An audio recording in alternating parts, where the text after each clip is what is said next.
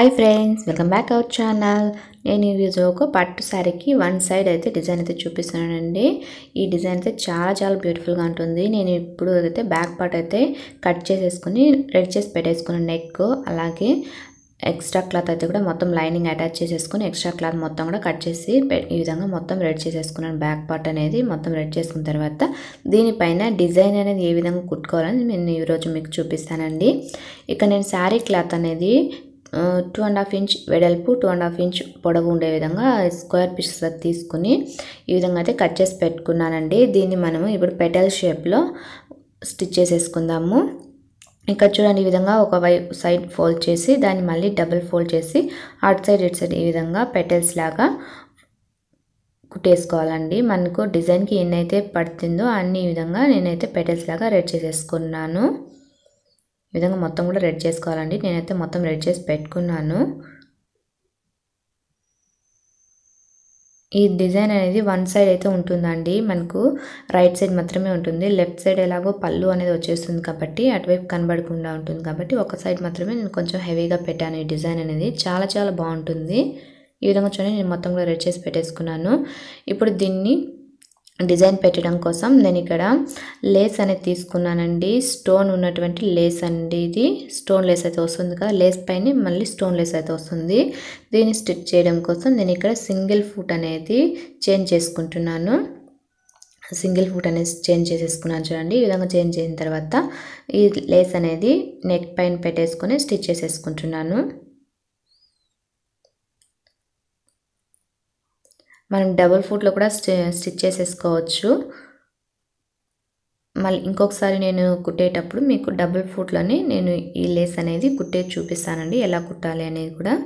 ఇప్పుడైతే నేను ఈ విధంగా సింగిల్ పాదం అనేది ఉంటుంది కదా ఆ పాదంలో ఈ విధంగా అయితే స్టిచ్ చేస్తున్నాను.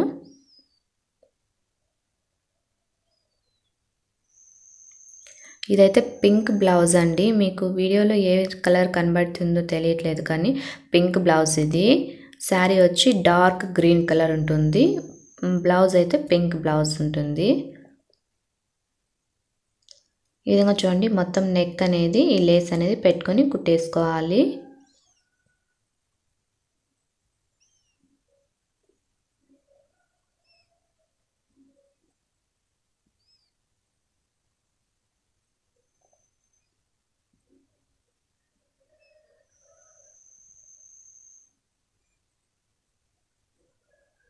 ఈ విధంగా చూడండి మొత్తం అయితే కుట్టేసుకున్నాను. ఈ విధంగా కుట్టుకున్న తర్వాత ఇక్కడ మళ్ళీ ఫుట్ అనేది చేంజ్ చేసేసుకున్నానండి. డబుల్ ఫుట్ అయితే తీసేసుకున్నాను.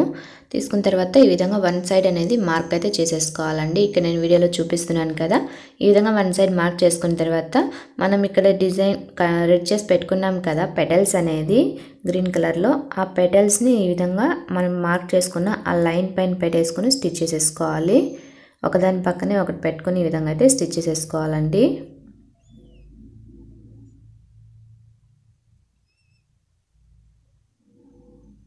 ఈ విధంగా చూడండి వీడియోలు చూపిస్తున్నాను కదా ఈ విధంగా అయితే స్టిచ్ చేసేసుకోవాలి.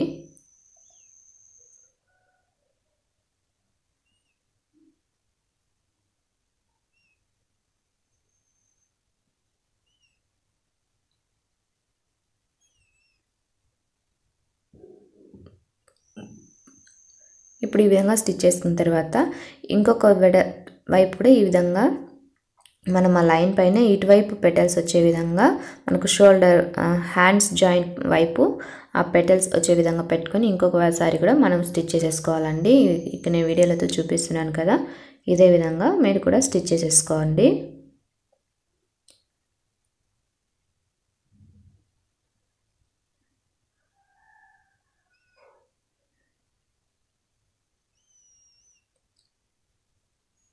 ఈ విధంగా చూడండి మొత్తం కూడా స్టిచ్ చేసేస్తాను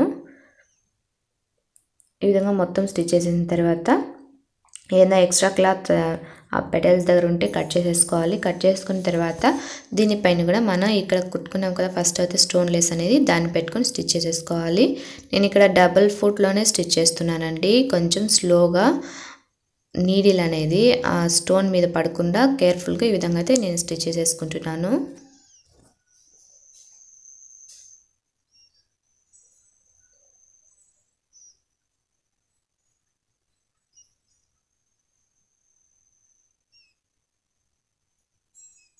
ఈ విధంగా స్టోన్ లెస్ అనేది మొత్తం కూడా టూ సైడ్స్ అటు సైడ్ ఇటు సైడ్ కూడా స్టోన్ లెస్ అనేది కుట్టేసుకోవాలండి.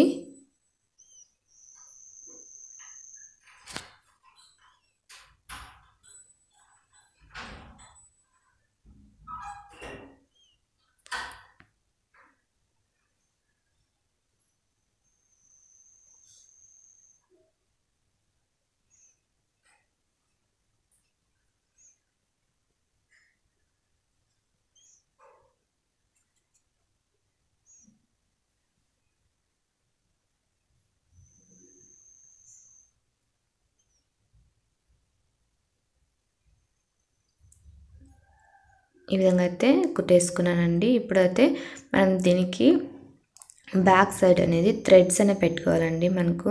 ఆ థ్రెడ్స్ అనేది నేను ఇక్కడ కుట్టుకుంటున్నాను. నేను ఇక్కడ క్లాత్తోనే స్టిచ్ చేసేసుకుంటున్నానండి థ్రెడ్స్ అనేది.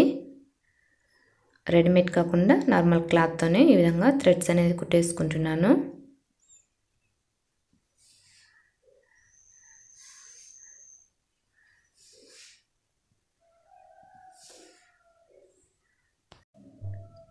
ఈ విధంగా చూడండి థ్రెడ్స్లో కుట్టేసుకున్న తర్వాత ఈ విధంగా అయితే ఉంటుంది మనకు డిజైన్ అనేది. తర్వాత ఈ పెటల్స్కి మనం పూసలు అనేది కుట్టుకోవాలండి. ఇక నేను గోల్డ్ కలర్ పూసలు తీసుకోకుండా నేను ఇక స్టోన్ లేస్ అయితే వస్తుంది కదా ఆ లేస్ని ఫోర్ ఫోర్ స్టోన్స్గా వచ్చే విధంగా కట్ చేసేసుకున్నాను.